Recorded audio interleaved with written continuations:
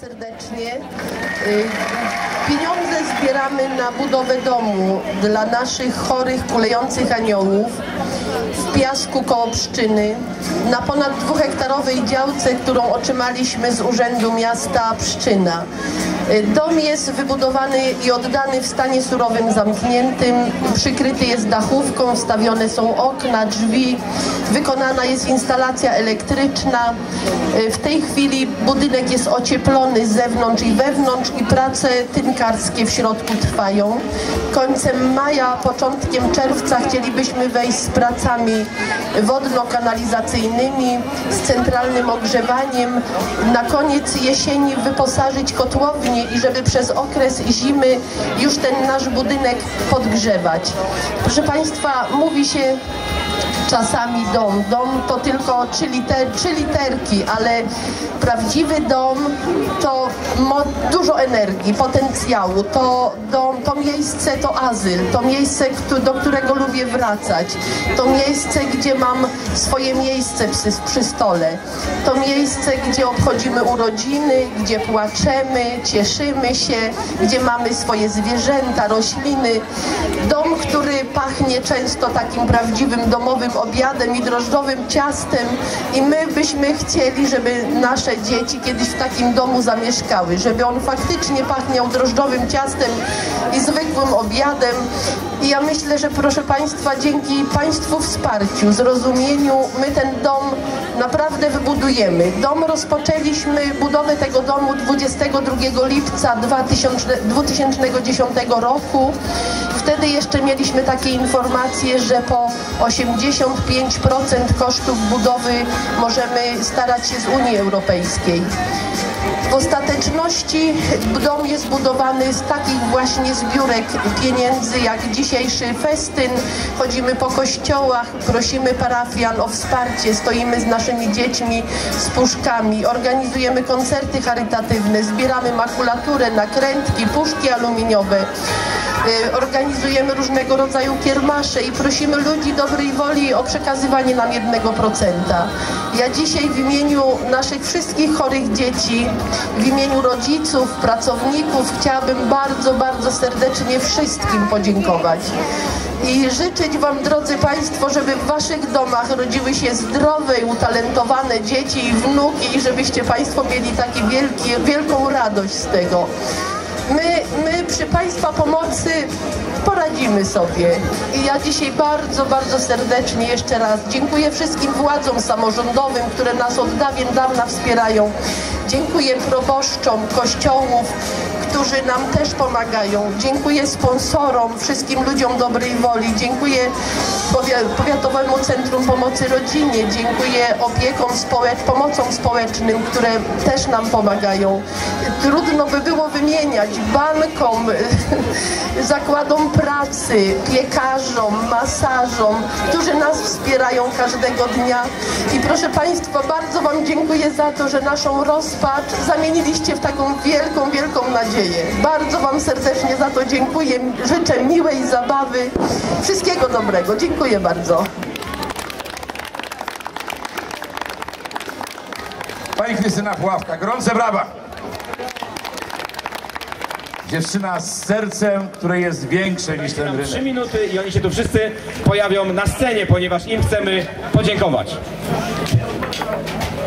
Zaczniemy od przewodniczącej zarządu koła, pani Krystyny Fuławki. Krysiu, zapraszamy cię tutaj do nas. Panie Krystyno, oto ona Krysia Hontas w zeszłym roku, Indianka.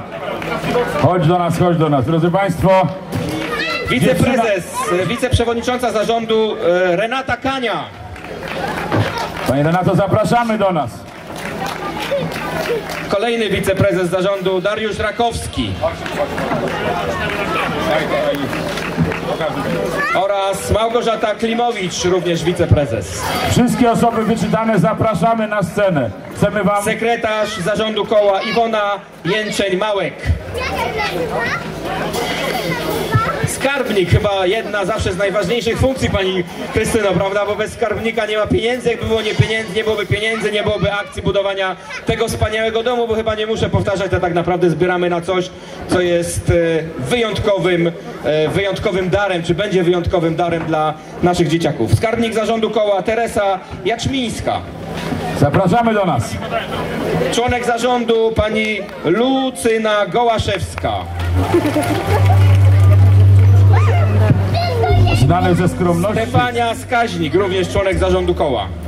Wstydzą się wejść na scenę. Tak ważne osoby i tak, i tak miłe. Teresa Chodźcie. Krzetkowska, członek zarządu.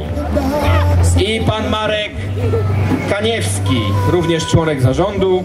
I zapraszamy Mariana Leśniaka. To jest cały zarząd Polskiego Stowarzyszenia na Rzecz Osób z Upośledzeniem Umysłowym. Ja się teraz odsunę troszkę w cień, bo oni tutaj schodzą. Oni wszyscy pracują, kochani, na tych stoiskach po to, żeby e, jak najwięcej uzbierać funduszy na budowę e, na budowę naszego, mogę tak powiedzieć, Krysiu, naszego domu, ponieważ też mam nadzieję, że wszyscy tak będziemy czuli, e, że to jest nasz dom i będzie nam tam dobrze i dzieciom tam będzie dobrze. Ale chciałem również na scenę zaprosić jeszcze dwie również ważne osoby. Panią Kasię Labus i panią Bogusię Bulasz. Panią dyrektor i panią kierownik ośrodka. Dziewczyny, chodźcie do nas, chodźcie, chcemy was, chcemy was zobaczyć tu na scenie. nie na rzecz swoich dzieci. Żaden z nas nie pracuje za pieniądze, także wszystkie pieniądze, które gromadzimy na budowę domu kulejących aniołów są przekazywane właśnie na, na budowę tego domu. Brawa jeszcze raz dla zarządu. Rozumiemy, że cała reszta zarządu ciężko pracuje.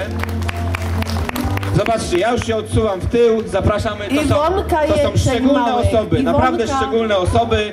Podziękujmy im brawami i życzmy im powodzenia, ponieważ mam nadzieję, Krysiu, że już w przyszłym roku uda nam się wejść do, do waszego domu, do domu kulujących aniołów i będziecie mogli prowadzić rehabilitację właśnie w piasku. Tego wam serdecznie, serdecznie życzę. Serdeczne słowa kierował jego wysokość burmistrz Pszczyny Dariusz Skrobol.